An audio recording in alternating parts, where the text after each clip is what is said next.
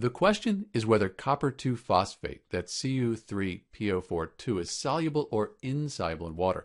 And the short answer is it's insoluble in water. There's a few ways we could know that. We could memorize the solubility rules. So we look down the rules here, see phosphates, that PO43 minus phosphate ion, we have it right here. Those are insoluble, with a few exceptions. Copper is not one of our exceptions, so based on the solubility rules, copper 2 phosphate should be insoluble in water. We could also look at a solubility chart.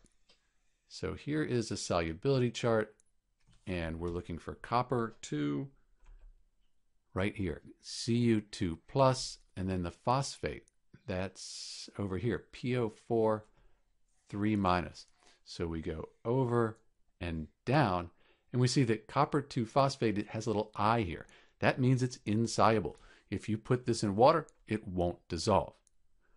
We should note that when we say it won't dissolve, we mean almost nothing will dissolve, a very small amount, but we still consider it to be insoluble because it's such a small amount.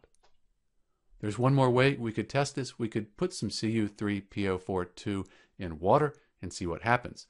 Based on our chart and the solubility rules, we expect that it would be insoluble. This is Dr. B, and thanks for watching.